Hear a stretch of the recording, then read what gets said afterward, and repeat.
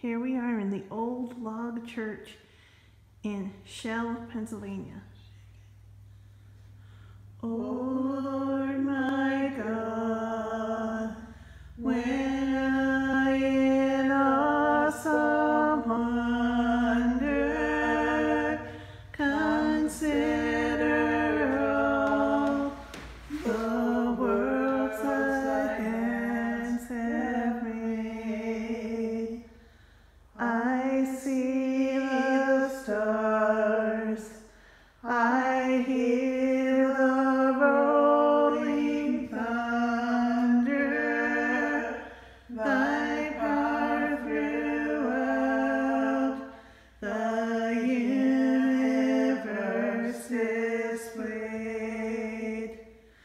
Then sings my